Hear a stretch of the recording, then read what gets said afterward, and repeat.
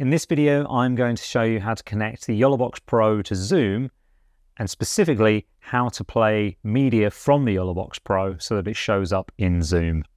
To start with, you need your media file already on your SD card or SSD. The file must be in 1080p. A 4K file won't play on the YOLOBOX Pro. In this demo, I'm connecting the YOLOBOX Pro via USB-C. If you have already set up your media file, you will get this warning message come up when you tick USB-C output. This is to warn you that you may get interface difficulties. I don't experience these, but if you do, use the HDMI output instead and run the YOLOBOX via another capture card. If you don't have three HDMI inputs already plugged into the YOLOBOX Pro, again, you will get this message.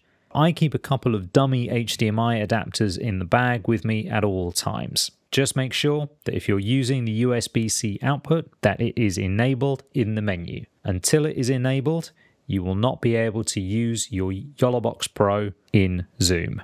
Open your media file on your YOLOBOX Pro and select it as a local video source. Connect your YOLOBOX Pro to your PC or laptop via USB-C, then open Zoom. Go to Settings and then select the YOLOBOX Pro as your camera and microphone source.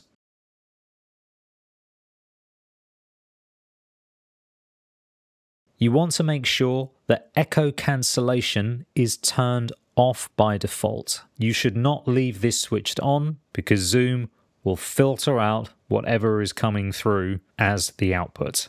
It's very annoying. Press play on your source on the YOLOBOX Pro. If you aren't getting any audio from your media file coming through, you may need to enable the audio track within the YOLOBOX itself, as it doesn't turn on by default. Once you've done that, you should now have audio from your media file playing through Zoom.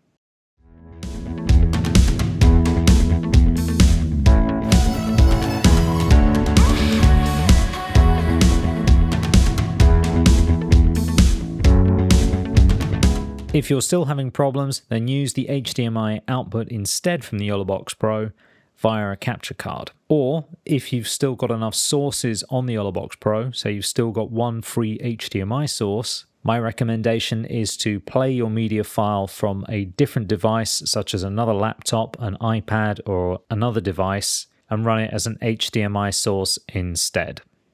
Thank you for watching. Um, if you've still got problems trying to play media files from the YOLOBOX Pro inside of Zoom, Teams, Riverside, whatever streaming or meeting software you're using, uh, please pop comment down below and I'll get back to you as soon as I can.